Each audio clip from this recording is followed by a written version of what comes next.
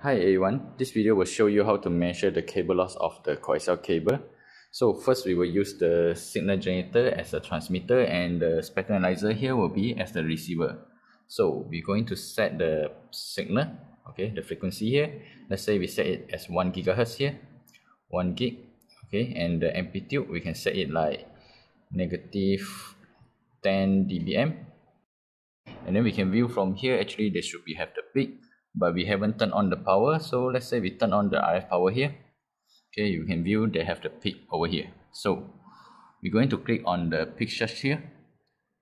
And then we can view it. The peak is here now. The marker is like we have like negative 13.5 something. That means the the cable loss is around like negative it's around like 3.5 dB okay? So but how about if different frequency? So if different frequency we can view it like let's say the lowest frequency should be have like lower loss compared to the higher frequency. So we make it like 1 megahertz 100 megahertz.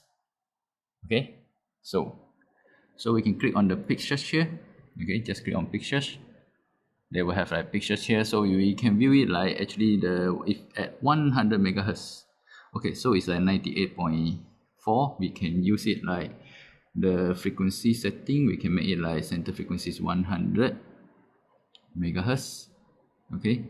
So we can use a picture here so we can view it. Actually the cable loss for this will be like negative 12.7 something. That means it's like lower loss compared with the 1 gigahertz. Okay so and then if we change it to like the frequency to 2.8 gigahertz okay so let's see about the negative 10 dBm. What is the value for the peak? So we can click on the frequency here and then we choose it like 2.8 at the center frequency giga and then we choose like peak search here.